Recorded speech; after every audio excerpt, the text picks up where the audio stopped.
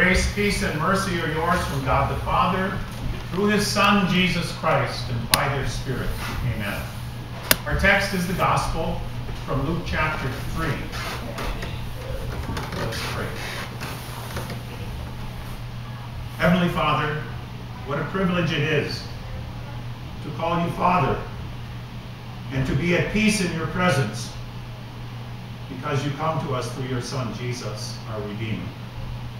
By your Spirit, open our eyes that we may see and believe wonderful things revealed in your scriptures for us, for our learning, that we may glorify your name through Jesus Christ. Amen. My dear friends in Christ, on this baptism of our Lord, first Sunday after the Epiphany, Eliab had to step aside. He wasn't the Lord's anointed there in Jesse's house. Shammah had to step aside. Seven of the brothers, sons of Jesse, all had to step aside for the youngest among them, who had to come in out of the field, wash up, and get ready for the sacrificial celebration for his anointing to be the king after Saul who had disappointed the Lord through rebellion and was rejected from being king. David would take his place. If you had the bulletin, you'd see that the theme for this sermon is step aside. Step aside for Jesus. Our gospel begins with a, giving us a glimpse of the ministry of John John, son of Zechariah and Elizabeth. His birth played somewhat of a part in the birth of our Lord, didn't it? Gabriel coming to Mary. Excuse me, Gabriel coming to Zechariah in the temple and telling him that he and his wife Elizabeth would have a son in her old age. And that this son would be the forerunner, the harbinger of the Lord Jesus, to prepare the people as Malachi said he would. I wonder how much time these parents, these senior citizen parents, had to influence their boy, bringing him up in the training and instruction of the Lord. I bet they knew their days were numbered, and they seized the opportunity that they had.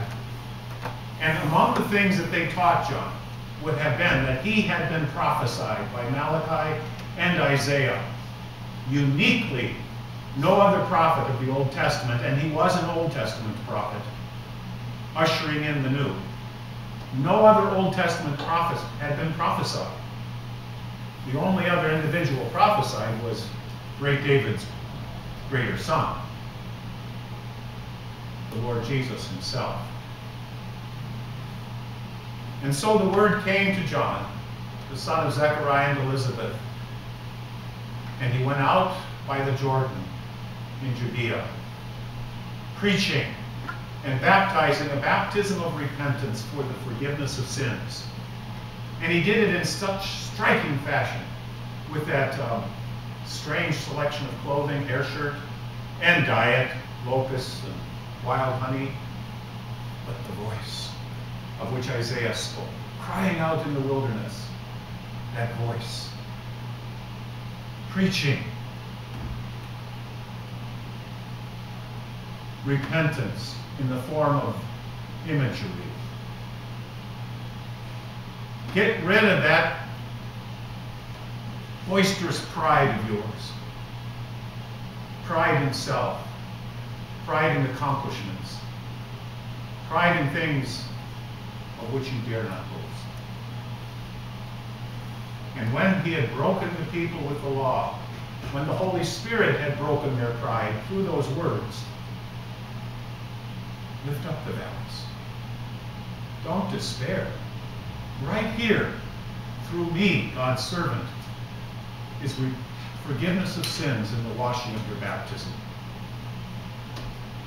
John points to the fact that he came with water baptizing. And it was so striking. The people were waiting expectantly and were all wondering in their hearts if John might be the Christ. So the people who were coming from all over the place were wondering as they watched and listened, if this might be the one Israel has been waiting for for centuries and millennia. John answered them all, I baptize you with water, but one who is more powerful than I will come. The straps of his sandals I am not worthy to untie. He will baptize you with the Holy Spirit and fire. I am not worthy, says John. I need the same Christ you need. I am a sinner as you are, and we must all stand humbly before the one whom I am preparing you to meet. I baptize you with water. He will baptize with the Holy Spirit. Think of that. The ministerial work that the church has to do is the Lord's work. It is He, the Holy Spirit, who comes through water, wheat, wine, and word to reach into our hearts without destroying them. If He came in all His glory, a fiery glory, we would perish in the encounter. But here we are instead saved as we listen to the word of Christ, as we remember our baptism celebrated every day, on this day especially. The Lord is in our hearts in a saving way. And that's how John describes the ministry he had been given as the church has been given. A baptism which is a water charged with the forgiveness of the gospel. John says, don't delay them. Just because water is pleasant and fire is furious, don't delay. This is the day of salvation. Now is the time of God's favor. Now is the time to seek Him and find Him where He wants to be found in the promises of baptism, in the promises of the forgiveness through absolution in a service. In these ways, we know where God is present among us and His Spirit is at work among us. John says, Don't delay. His winnowing fork is in His hand to clear his threshing floor and to gather his wheat into his barn. But he will burn up the chaff with unquenchable fire. Think about that. The clock is ticking. The last day is the next thing we speak of in the Apostles' Creed. From there he will come to judge the living and the dead, the quick and the dead, we used to say, believers and unbelievers. There will be a separation when the Son of Man appears in all his glory on the last day. Those who have died will not, not be able to press the snooze alarm and say, I'd rather keep on sleeping, nor those in their beds. All will be gathered by the angels to one place to be separated as chaff from the wheat. How different that appearing of our Lord will be from the way he appeared among us at Bethlehem. The same town outside that town, not even in the village, but out in the countryside at night. Angels announcing it to shepherds, the lowest class among them.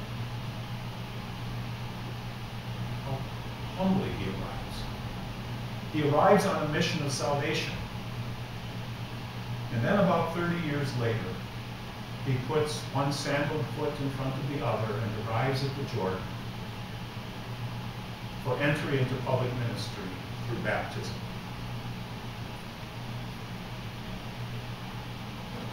Jesus will return, and we are made ready for that return through the means of grace, whereby he encounters us with forgiveness. Now is that day of salvation. The very next will be the winnowing fork, separating chaff from wheat. And so let's get the Spirit day by day through his word and our baptism's promises. Let's not despair ever because of the sins that we have done, but trust we are forgiven and therefore children of God through faith in Christ Jesus. Peter exhorted thousands on the day of Pentecost by saying, Repent and be baptized, every one of you, in the name of Jesus Christ for the forgiveness of your sins, and you will receive the gift of the Holy Spirit. The promise is for you and for your children, and for all who are far off, for all whom the Lord our God will call. Now the second half of our text.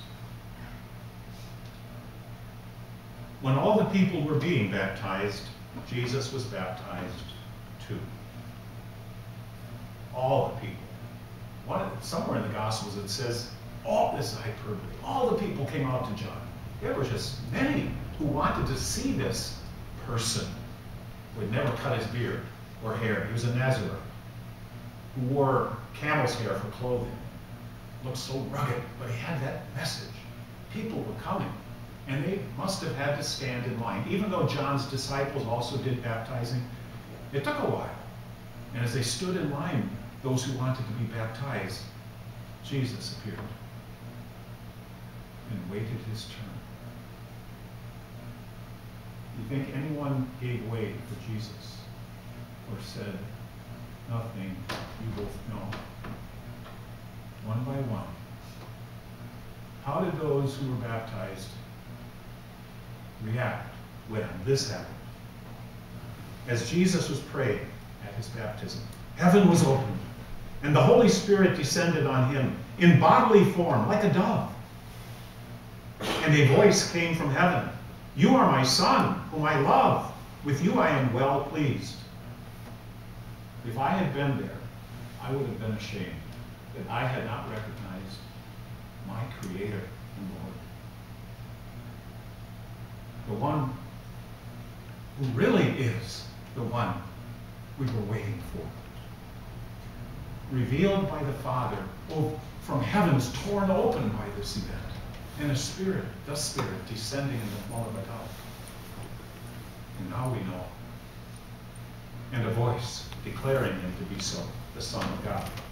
I'd be embarrassed at my obtuseness that I had missed it in advance. It still happens.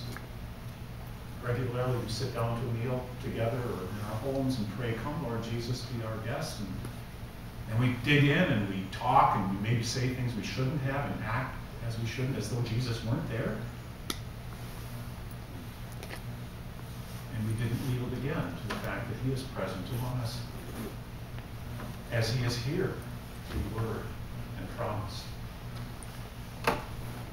He is the one who gives us a beating heart and breathing lungs, rest at night, and recovery for this new day. And we go on thinking nothing of it, taking it for granted as it is so regular. But it isn't unusual that these things should happen for us. It is our Lord Jesus who is with us. And we wouldn't step aside from a routine in order to say thanks.